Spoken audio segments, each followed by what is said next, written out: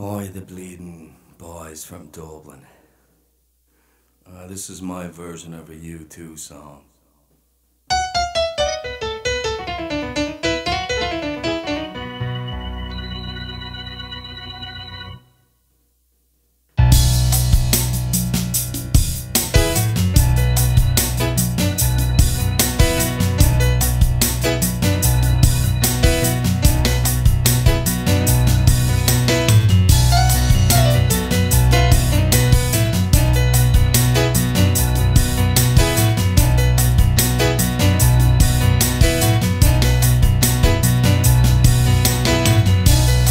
말야